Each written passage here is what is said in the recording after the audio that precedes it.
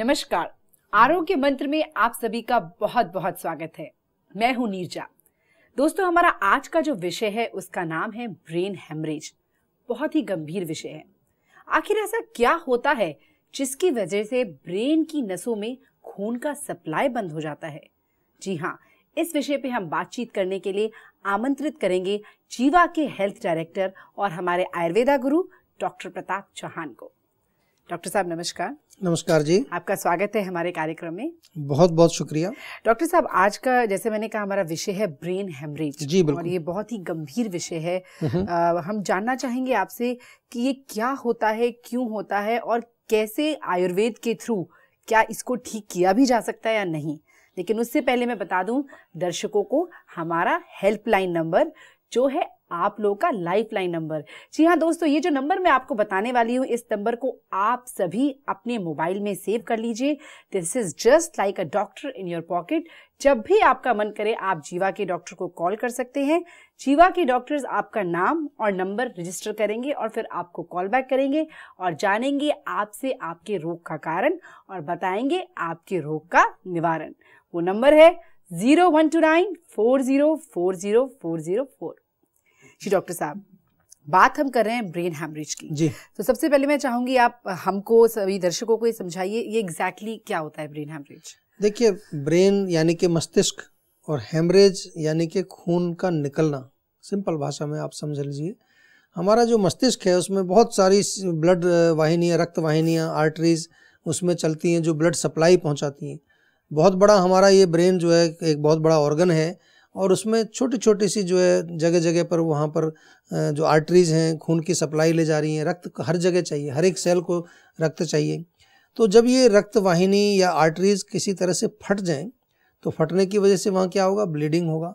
तो ब्लीडिंग होगा तो जिस टिश्यू को वो जो रक्त सप्लाई जा रही थी, वहाँ पर खून नहीं पहुँचेगा।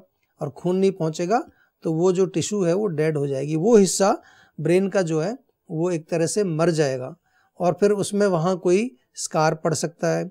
वहाँ पर सूजन भी हो सकती है जिसको कि हेमोटोमा कई बार बोल देते हैं। तो इसको सेरिब्रल हेमरेज भी कहा जाता है ब्रेन हेमरेज भी इसको कहा जाता है। इस तरह से इस रोग को समझ लेना चाहिए सिंपल भाषा में।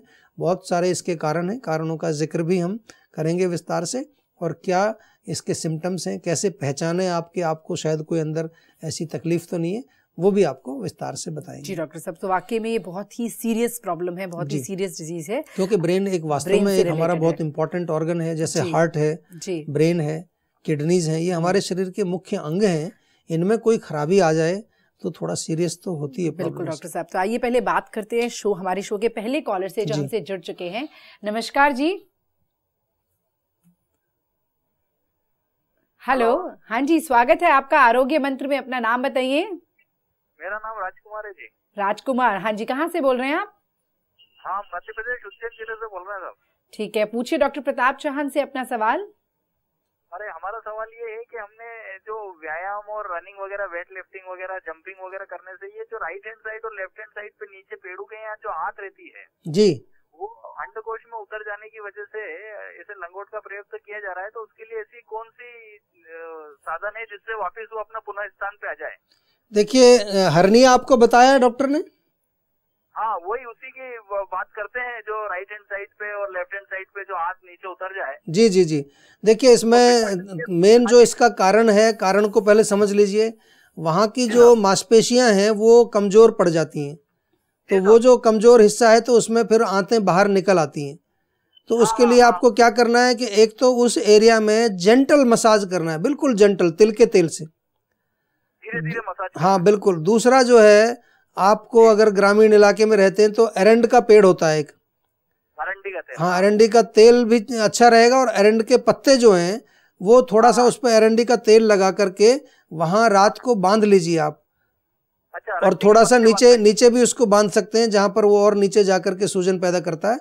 और तीसरी हाँ। चीज़ इसमें जो है कुछ आयुर्वेदिक हाँ। औषधियाँ आपको लेनी चाहिए। आयुर्वेद में इसको वृद्धि रोग कहा गया है हरनिया को। और इसकी चिकित्सा दी गई है प्रॉपर और पेट साफ़ रहना चाहिए आपका। अगर आंतें आपकी साफ़ रहेंगी उसमें गैस नहीं बनेगी कोई मल वहाँ जमा नहीं होगा तो भी आपको हाँ। काफ़ी राहत मिलेगी। और पेट साफ़ हाँ। करने के लिए रात को आपको एक चम्मच त्रिफला ज़रूर लेना चाहिए। लेकिन हाँ। इसका प्रॉपर उपचार भी आयुर्वेदिक चिकित्सक से मिल करके आप ज़रूर कराएँ। आप चाहें तो हाँ। हमारे यहाँ फ़ोन करके डॉक्टर से बात कर लें या आपके इलाके में कोई अच्छे वैद्य हों उनसे मिल करके भी इसका उपचार आप करा सकते हैं। ठीक है अच्छा इस- इसमें ये कैस्टर ऑयल से मालिश करना है रात में। हाँ जी हाँ जी। और जो अरेंड का पत्ता है वो भी कैस्ट्रॉल चुपड़ के उस पर उसको वहाँ बाँध हाँ। लीजिए। तो ठीक है। के बांधना है कि ऐसे ही।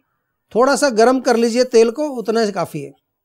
ठीक है राजकुमार जी तो आपको जो भी बातें डॉक्टर चौहान ने बताई हैं आप उनका पालन कीजिए। और अगर आप आयुर्वेदिक औषधि लेना चाहते हैं जो कि उन्होंने कहा है कि बहुत ज़रूरी है साथ साथ लेना आप किसी भी आयुर्वेदिक चिकित्सक से मिल सकते हैं या जीवा की हेल्पलाइन पर भी कॉल कर सकते हैं। हमें कॉल करने का बहुत बहुत शुक्रिया।